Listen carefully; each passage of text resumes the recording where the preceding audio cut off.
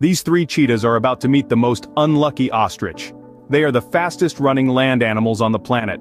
They can clock in at speeds up to 75 miles per hour, and these three cheetahs are hungry for some ostrich meat. The three brothers spot a female and her boyfriend ostrich on their date on the grasslands. The male ostrich tries to warn off the cheetah, but it did not work. The first cheetah start the chase, then suddenly two more cheetahs pop out of nowhere.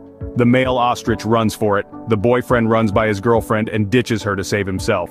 Now the cheetah switches target to the abandoned girlfriend. The first cheetah jumps and grabs the ostrich by her butt. The second cheetah joins in and jumps to grab the ostrich butt as well. The boyfriend stands there watches and does nothing to save his girlfriend, because he cares more about himself than his girlfriend. It takes all three cheetahs to take down the abandoned, unwanted female girlfriend ostrich.